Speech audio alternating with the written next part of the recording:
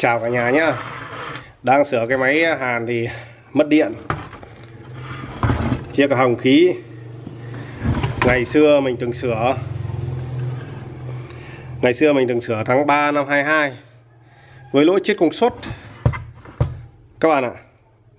Với lỗi chết công suất và mình thay bằng à, cụm à, IGBT này này.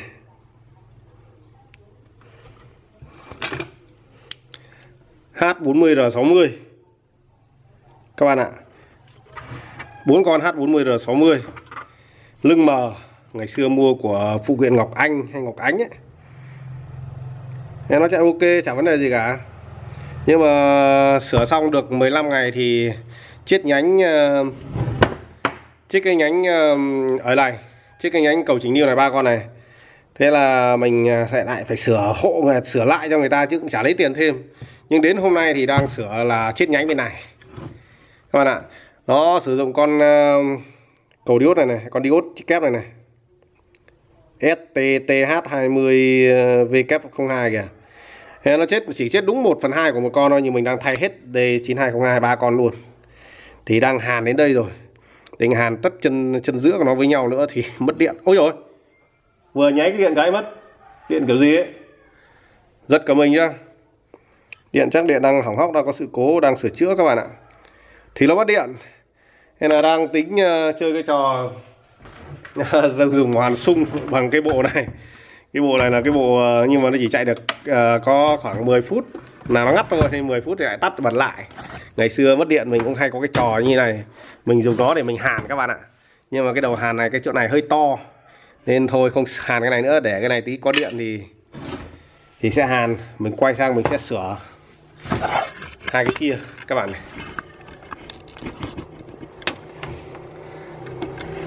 mình sẽ sửa hai cái quạt kia. Hai quạt Mitsubishi của thợ điện cơ họ nhận rồi. Họ bảo là sửa nhanh để chiều tối họ lấy sáng mai hẹn sáng mai lấy rồi.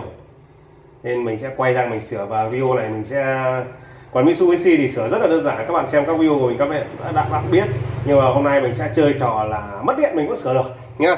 Tạm thời gác cái máy hàn sang một bên đã. Máy hàn này của khách quê mình thôi nên để à, chuyển sang sửa cái quản Mitsubishi kia.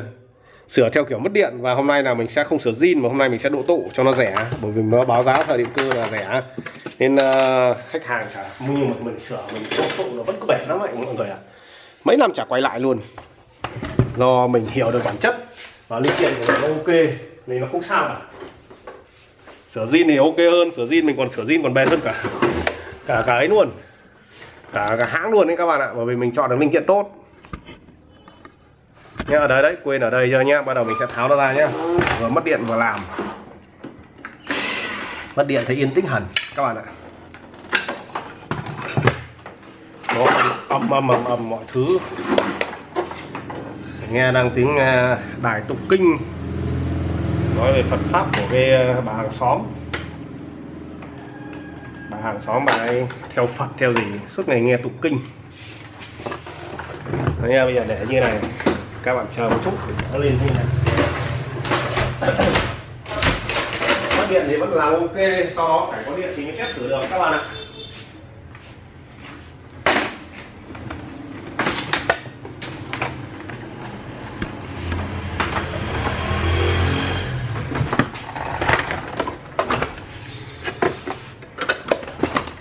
đó.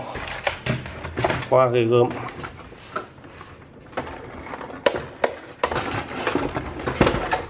Ôi rồi, nó đẩy ra thêm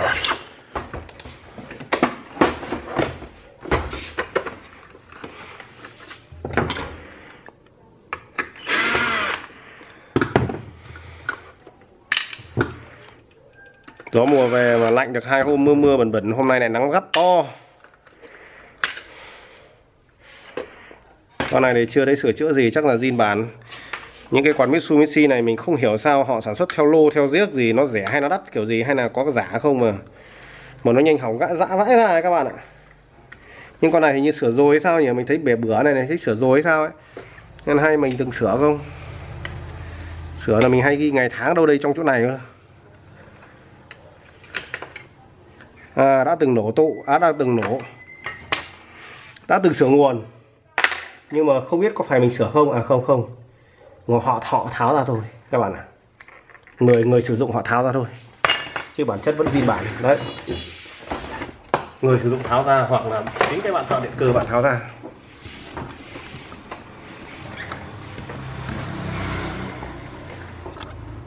Hơi khó cho mọi người nhìn để mình mình bắt đầu làm nó nhỉ.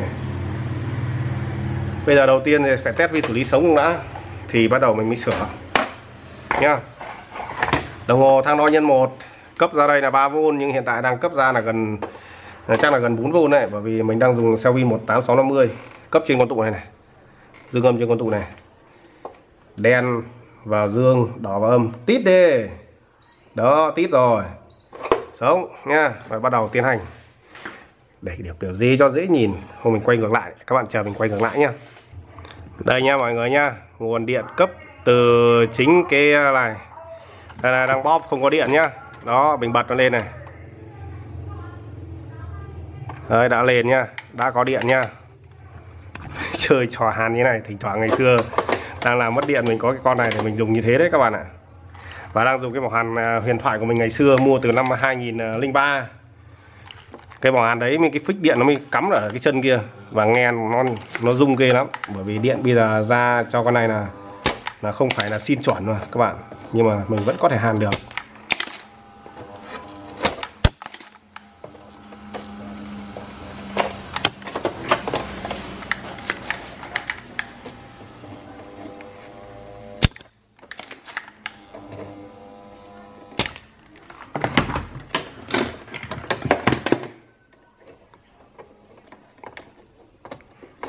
Tháo IC ra, tháo tất cả cái khu này ra bắt đầu mình sẽ, thời gian mình sửa zin được đấy, nhưng mà mấy ông điện tiện cơ này là sửa rẻ thôi anh ạ. Mình có hai à, thể loại cho nó mà, hai giá cho nó mà. Nó muốn sửa rẻ cơ để nó ăn được lợi nhuận cao. Nhưng mà mình sửa rẻ thì nó cũng bền nhá, và cái video, những cái video mình đã chia sẻ hết cho mọi người cái cách sửa như nào rồi. Cả hai kiểu độ tụ và sửa zin, các bạn nhé dạo gần đây thì mình hay sửa zin, nhưng mà hôm nay mình sẽ độ tụ. Độ tụ nó không không không uh, uh, khi mà chúng ta cụ dùng linh kiện tốt ấy, thì nó cũng không lâu hỏng cực kỳ. Và quan trọng là con tụ. Và khi nó hỏng lại thì chủ đứa là cái bệnh là bật cũng tự tắt. Các bạn ạ bật cả suy là tự tắt. Con này nó nổ cả cầu chì này các bạn này.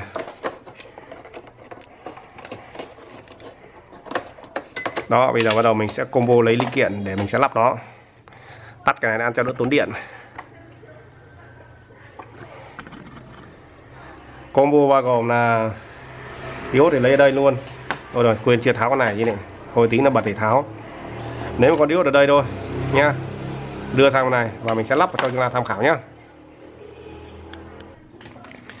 tụ 105 630V chứ mình không dùng 400V cho nó bền. Một con tụ là 10V hoặc 16V 1000 m nha một con DZ uh, 1W 5V 1 nhá và một con điện trở mình có cái lô điện túi điện trở 100 con ờ, 47 ôm này mình hay dùng cho nó. 22 ôm được nhưng mà con này chân dân chân đồng các bạn ạ à, rất là xịn luôn. Chân đồng 47 ôm toàn mua đồ thanh lý thôi. Và bây giờ tiếp tục để bật điện.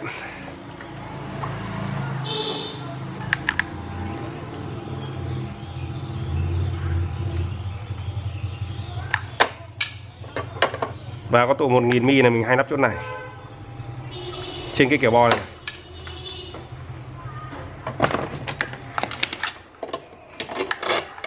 Rất nhiều bạn thợ là không để ý cái này luôn là vẫn để con 100 mi kia. Là khi bật là hay số đáp rất cao nên tụ giảm trị số một tí. Con tụ 105 này à, mình nắp vào đây đến khi nó giảm xuống còn 0,5 mi hoặc là 0,47 microfarad là vẫn đáp ứng được mạch chạy các bạn ạ. Bởi vì chính là con tụ 1000 mi này mình nắp thêm vào này. Mình hay làm như thế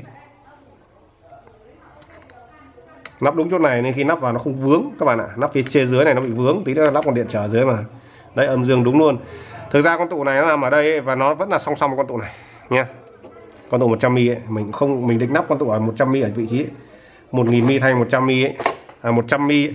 1000 mi thay vào cho 100 mi ấy, nhưng mà chỗ đấy nó bị vướng các bạn ạ. Nên lắp ở vị trí này. Và chơi cái kiểu uh, dùng cái con uh, Stan Stantec ờ, uh, 500 này là cứ khoảng vài phút mà mình không ấy là nó tự nó tắt đấy các bạn ạ. Hôm nay bật lại thôi, nhá. Mấy ông ờ, bạn thợ mình còn chế nó bằng con dơ le, cứ mất điện này, dơ le này đóng. Vẫn hút dơ le 220 đóng nhà nó chạy suốt 24 trên 24 bởi vì các ông dùng những cái áp quy to mình đã dùng kích điện.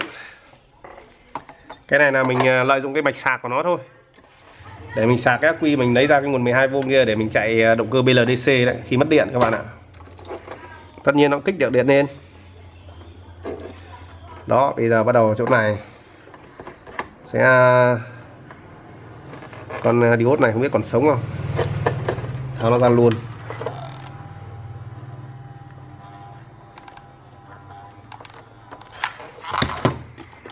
Mạch điện thì bạn nào muốn hiểu cái mạch này thì mình sẽ mình cố gắng mình hay làm, mình hay để cho mọi người một cái link mà mình đã từng chia sẻ kỹ. Còn đây là những cái à, công việc chinh chiến hàng ngày của mình. DZ 5V1 nhá. Chúng ta sẽ đấu song song với chính con tụ này thôi nhá. Thì đâu là, đây là dương này, đây là dương này. Ở đây là âm này, thì chúng ta có thể à, đặt đúng nó như này, nằm trên này như này được. Trên hai cái lốt này các bạn nhé VDD này và VS này. Dương âm này đó để chính ở đấy luôn luôn được. Đấy mất điện là vẫn hàn được bình thường nhá các bạn nhá,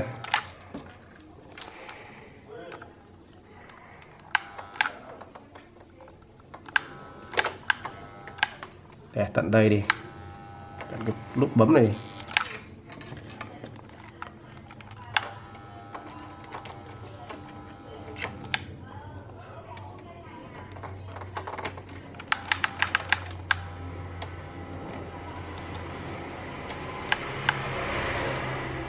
cho nó tản nhiệt ra đấy các bạn ạ. Mình hay làm như thế lắm.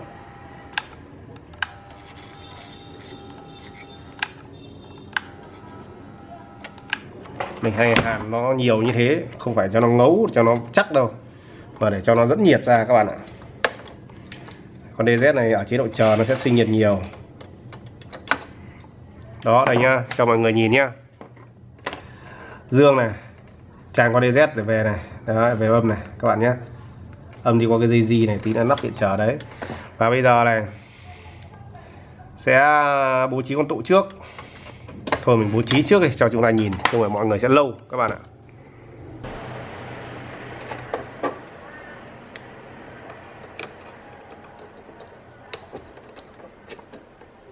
Vừa làm, vừa bố trí linh kiện là chỗ nào chỗ nào, các bạn ạ.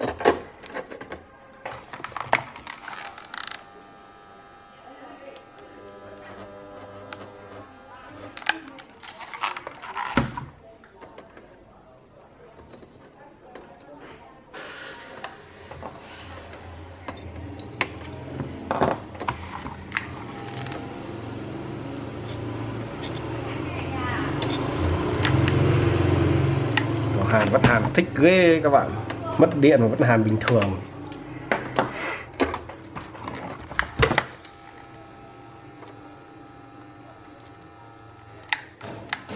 Tí nó làm xong mình sẽ cho mọi người tham khảo đường đi mình đang xử lý nó như thế nào. Con này con 100k không được rồi con 8 cao hơn. Mạch điện nhiều quá mà. Đây thấy con này đi.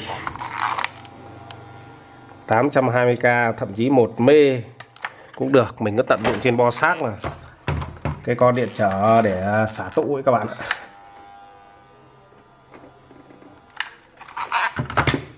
Mình cứ tận dụng mình nhặt được là là mình đưa nó vào.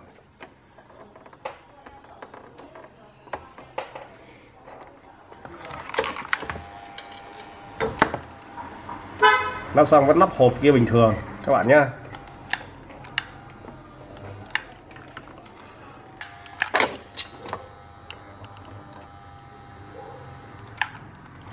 họ đã xong. Cầu chì ba nữa thôi. Là xong một con. Nhưng mà không có điện thử, để tí nữa có điện mới thử được, các bạn ạ. Đây là làm chờ thế đây nhá, sẽ nói qua cho mọi người thôi cái này tắt đi đã. Đây là cho chúng ta tham khảo cái đường đi của nó này. Mình sẽ tìm một cái video mình đã nói cho mọi người về cái mạch này. Ờ, à, lửa chu kỳ đây là hai GAC GAC GAC nửa chu kỳ ờ. đây là GAC đi qua cầu trì thì đây cũng là GAC nhá. Nửa chu kỳ dương ở đây. Nửa chu kỳ dương đây này. Nó sẽ dương này nó sẽ đi tới đây này. Đó, nó sẽ nạp trên con tụ này nuôi tải từ VCC IC về GDIC nuôi tải. Và phần thừa được tràn qua DZ này. Tóm lại là trên tụ này ta chỉ uh, có một cái điện áp là rơi vào tầm 5V 1 thôi 5V 2 thôi bằng bằng chỉ số con DZ này nhá. Nó về mát này này nó đi qua cái dây gì à đây về mát này rồi nhá. Nó tới đây nó đi qua con diode zin bản trên mạch nhá. Mình đã tháo bỏ con diode này đi. Hình hiện tại là con diode mình tháo đây đi mình lắp ở đây rồi. Còn con diode ở đây thì mình cũng chả kiểm tra bỏ ra kia luôn nó sẽ đi qua diode này, từ A sang K diode này nhá. Tới đây nhá, sẽ đi qua con điện trở hạn. 47 ôm mình lắp thêm này này 22 ôm 10 ôm được. Mình phải cắt một cái đoạn mạch này để cho đỡ vướng. Con này sợ là vướng, sợ là ấy thì mình đửa ra nữa cho nó đỡ chạm nhá. Nhá. Đi từ đây, đi về đây. Đi đi qua tụ, tức là không phải đi qua tụ mà lạp điện tích trên tụ nhá. Tụ sẽ lạp được điện tích dương đây. Và âm bên này để đi về mát của nó. Như vậy là cái dòng chảy nó như thế, nó sẽ lấy được 5V một ra à, lui mạch đến nửa chu kỳ sau ấy, thì đây là dương này thì dương này nó sẽ đi nó sẽ xả điện tích. Dương lạp vào bản tử đang ở đây đang âm lạp vào dương đổ sang bên này và chảy qua con từ A sang K con diode này để về GAC còn lại. Như vậy là lửa chu kỳ này là chúng ta sẽ thấy không có điện áp ra cho mạch nhưng mà nó đã lật xả tụ và lật lại cực tính nạp là dương ở đây. Và âm đây để lửa chu kỳ sau nó mới tiếp tục cho dòng chảy qua được. Chứ nếu mà cứ dương đây mà không xả thì nó rời cho qua được nha nó ngăn luôn nhá mọi người nhá nguyên lý lạp xả tụ mình đã nói rất nhiều rồi nhá. Các bạn hiểu thì hiểu không các bạn không hiểu thì thôi thôi. Mình không làm thể làm gì được các bạn ạ. Đó thì uh, như thế thì sau đó đến cái lửa chu kỳ mà dương mà đi như thế không lấy điện áp ra thì là điện áp đã được tích trữ. Lúc đấy trên con tụ 100 trên con tụ 1000 này luôn. Đó. Thì nó sẽ có 5V một ra cho mạch nhá. Đấy chúng ta sẽ lấy con con diode ở vị trí này nữa này. Con diode này là mình tháo ở đây ra nhá. Và vì mình săn tiện cái lỗ này mình có hút cái dây gì và lấy cái lỗ ở dây gì luôn nhá. Đấy, thêm tụ tụ 105 nhá, và lắp, sẽ lắp hết vỏ viết lại. Đây, lắp luôn, vỏ luôn. Tí nữa có điện sẽ thử. Vỏ nó đâu rồi nhỉ? Đây, vỏ nó đây. Vỏ nó thì ờ, cái này nó nằm bên này sao nhỉ?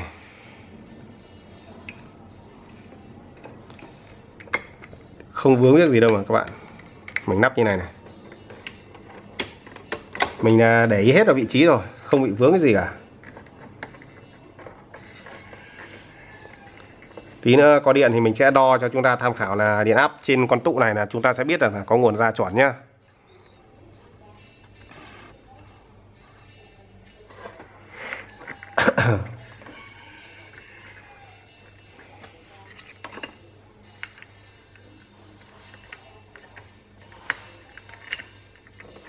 Ra cái bọc nhiễu này hay là cái gì đấy thì mình không rõ.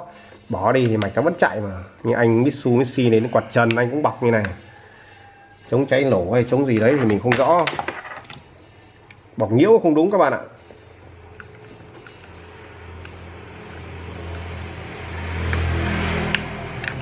À, nó đang bị cong này không đưa vào được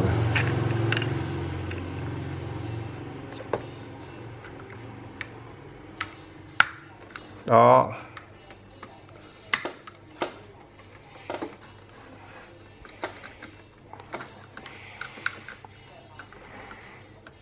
Ok. Đó nhá, chờ có điện, bây giờ thì mình tạm thời mình dừng máy quay, mình chuyển cái cục này đi sang bên à, bàn bên cạnh nha mình sẽ làm nốt con kia. Khi có điện bắt đầu mình sẽ test cho chúng ta tham khảo nhá. Bây giờ thì stop đã. Cục lem, cục này sang bên kia để sửa bên bàn bên kia để cứ đẩy yên cái này về đây. Sau một hồi, dùng chính cái này, hàn nắp hai cái ok xong. Thế là đi đu đưa linh tinh, đi linh tinh xong mới về. Có điện, các bạn ạ. Và bây giờ bắt đầu test nhá. Điện á đồng hồ đây nhá, để cho mọi người tham khảo về nguồn của nó nhá. Như mình bảo rồi nhá, đấy, tắt lâu quá này, cái này phải ấn tắt, nó mới lên được này. Thì mình sẽ đo điện áp trên con tuổi luôn nhá. Ghim điện này. Đấy, tít luôn.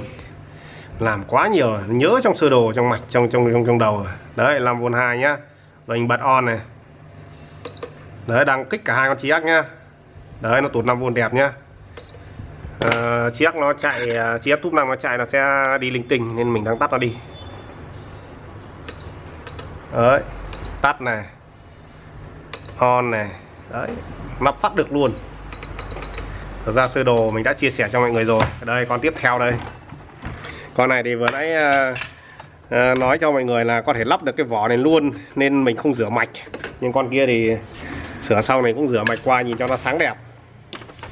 Nha để con này xuống đây nhá. Ôi để xuống chân luôn đi này tí lắm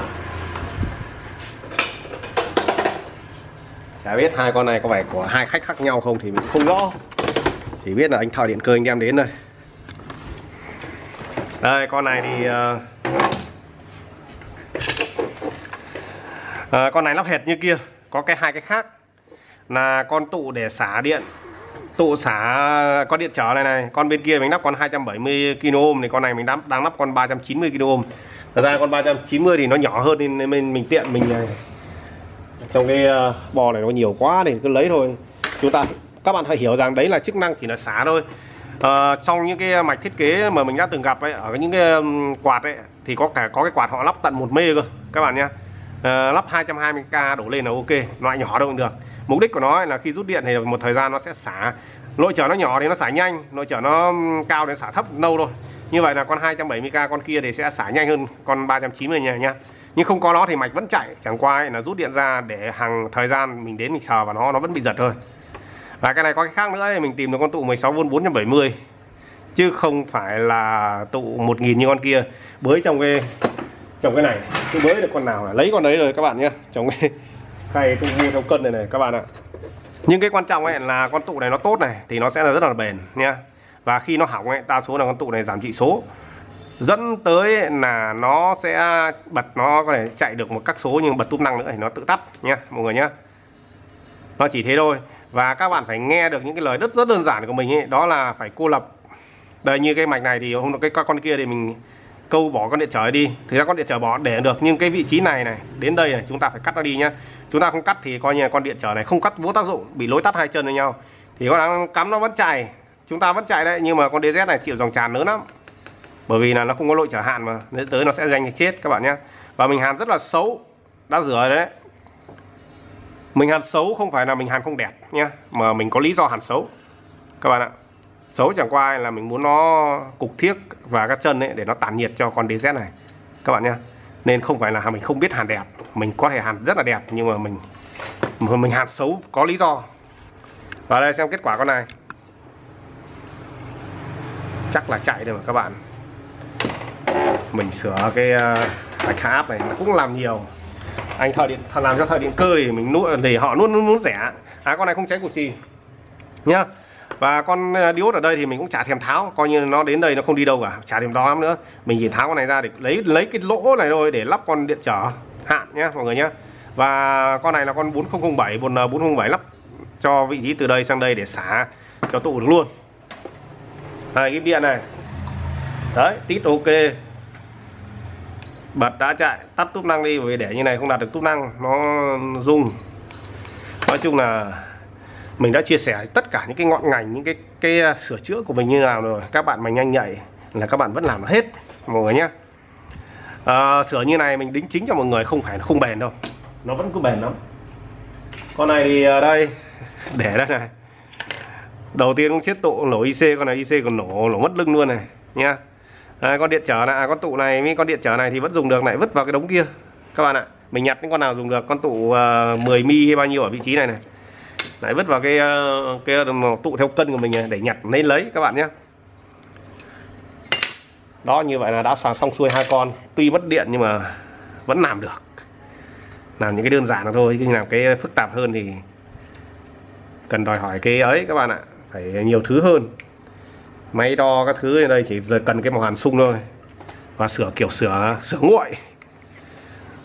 À cũng có thể thử được mà, các bạn cắm sừ trực tiếp nó vào. Và cái ừ, bộ cái kích điện kia các bạn. Bật thì nó cái bò nó chạy được là được các bạn. Đúng rồi. Cắm trực tiếp cái um, uh, cái 220 ra của cái ấy cái, cái kích kia cũng thử được cái quạt này nhưng mà thử được một tí thôi. Chứ thử nhiều nó lại kêu ghê lắm nó rồ ghê nó các, các bạn ạ. Thôi video kết thúc nhá. Mình lắp hoàn thiện để mình đi đón học. Chào các bạn nhé xử lý lốt con máy hàn cái nữa hàn lốt con máy hàn cái nữa là, là lắp lại. Xong buổi chiều